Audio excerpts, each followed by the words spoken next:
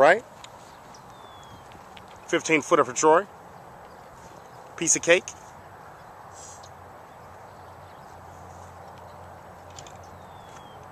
King of Kids Golf.